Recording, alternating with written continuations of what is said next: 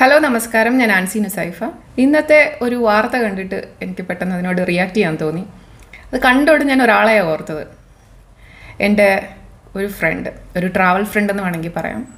ആൾ ജനിച്ചതും വളർന്നതും എല്ലാം ഒരു ഇസ്ലാമിക രാഷ്ട്രത്തിലായിരുന്നു. പാരൻസ് രണ്ടുപേരും മുസ്ലിം ആയിരുന്നു. ആൾ വളർന്നു വന്നപ്പോൾ ഇസ്ലാമിലെ സ്ത്രീ വിരുദ്ധതയും ഒന്നും ഇഷ്ടപ്പെടാതെ ആളിന് മതം മാറണമെന്ന് തോന്നി.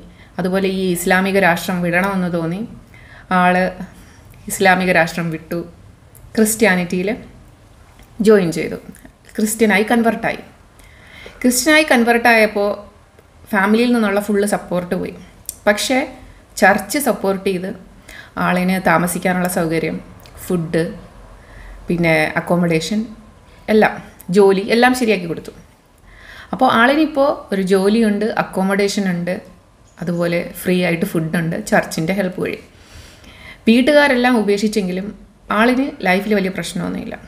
പക്ഷേ ആൾ അതിനുശേഷമാണ് ബൈബിൾ വായിക്കാൻ തുടങ്ങിയത്. ബൈബിൾ വായിച്ച് പഠിച്ച് മനസ്സിലായപ്പോൾ ആളിന് മനസ്സിലായി ഖുറാനിൽ എന്തൊക്കെയാണോ സ്ത്രീ വിരുദ്ധതയുള്ളത് അതുപോലെ തന്നെ ബൈബിളിലും ഉണ്ടെന്ന്. അപ്പോൾ ഈ ആൾ എന്നെ പരിചയപ്പെടുന്നത് ആളൊരു അന്നേരം ആൾ ഒരു ക്രിസ്ത്യൻ രാഷ്ട്രത്തിലാണ് താമസിക്കുന്നത്.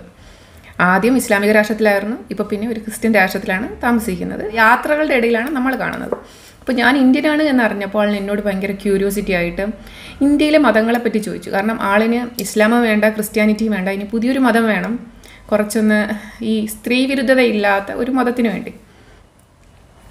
അപ്പോൾ ആൾ ചോദിക്കുവാണ് എന്നോട് ഇന്ത്യയിൽ കുറേ മതങ്ങളില്ലേ അതിനകത്ത് ഏറ്റവും നല്ല മതം ഏതാ? എനിക്ക് ഇനിയും കൺവെർട്ട് ചെയ്യണം. എനിക്ക് ഇസ്ലാം ഇഷ്ടപ്പെടാതെ ഞാൻ ക്രിസ്ത്യാനിയിലോട്ട് മാറിയായിരുന്നു. പക്ഷേ ക്രിസ്ത്യാനിറ്റി ഒട്ടും ശരിയാവുന്നില്ല. എനിക്ക് അതിൽ എനിക്ക് നിൽക്കാൻ പറ്റില്ല. അപ്പോൾ ഞാൻ ഇങ്ങനെ ആലോചിച്ചു. കാരണം ഞാൻ ഈ കുറച്ച് മതങ്ങളെ പറ്റിയിട്ടൊക്കെ എനിക്ക് അറിയുള്ളൂ.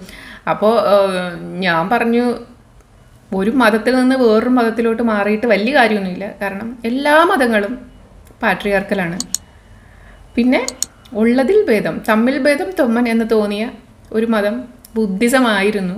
അതിനകത്ത് എല്ലാം ബുദ്ധിസത്തിലെ എല്ലാ കാര്യങ്ങളും ഞാൻ എഗ്രി ചെയ്യുന്നു എന്നല്ല നമ്മൾ തന്നെയാണ് നമ്മുടെ ദൈവമെന്നും അഹിംസയാണ് നമ്മൾ പ്രാക്ടീസ് ചെയ്യേണ്ടതെന്നും മൈൻഡ്ഫുൾനെസ്സും അതുപോലെ ബാക്കിയുള്ള ആളുകളെ ഉപദ്രവിക്കുന്ന ഒരു പ്രവൃത്തി പ്രവൃത്തിയും നമ്മളിൽ നിന്ന് ഉണ്ടാകരുത് അതിനകത്തുള്ള കുറച്ച് നല്ല പോയിന്റ്സ് ഒരു ഒരുവിധം വേർതിരിവും പാടില്ല എന്ന് പറയുന്നുണ്ട്.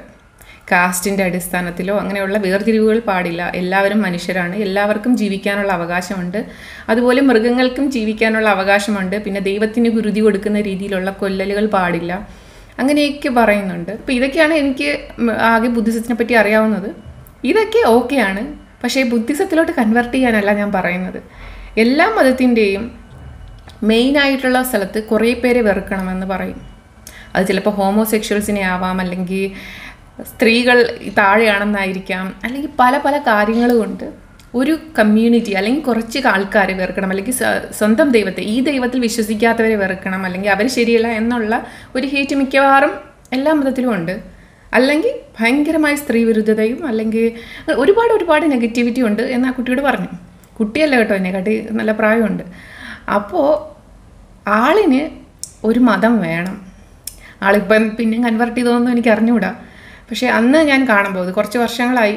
അപ്പം അന്ന് ഞാൻ കാണുമ്പോൾ ആളിന് ഇങ്ങനെ ക്രിസ്ത്യാനിറ്റിയിൽ നിന്ന് വിട്ടുപോയാൽ മതി എന്നുള്ളൊരു ഫീലിംഗ് നിൽക്കുന്ന ആ സമയമാണ്.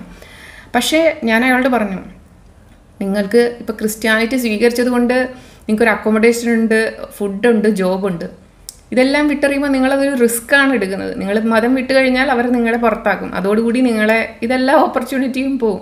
അതുകൊണ്ട് ആദ്യം ഒരു സേഫ് പ്ലേസിൽ എന്തെങ്കിലും എത്തിയിട്ട് വേണമെങ്കിൽ കൺവെർട്ട് ചെയ്യൂ. കൺവെർട്ട് ചെയ്യാൻ ഞാൻ ഒട്ടും റെക്കമെൻഡ് ചെയ്തില്ല. ഒരു എല്ലാ റിലീജിയനും റിഗ്രസീവ് ആണ്. റിലീജിയൻ ഇല്ലാതെ നിൽക്കാൻ നോക്കൂ എന്നൊക്കെ പറഞ്ഞു. കാരണം ആളിനൊരു എന്താണ് പവറുള്ള ഒരാളാണ് നമ്മുടെ ലൈഫ് കൺട്രോൾ ചെയ്യണത്. അല്ലെങ്കിൽ ഒരു അങ്ങനെ വിശ്വസിക്കണം എന്ന് തോന്നി. അപ്പോൾ കുറച്ച് സ്പിരിച്വലായി നിന്നാലും മതിയല്ലോ. മതം കൺവേർട്ട് ചെയ്യണമെന്നില്ലല്ലോ അല്ലേ?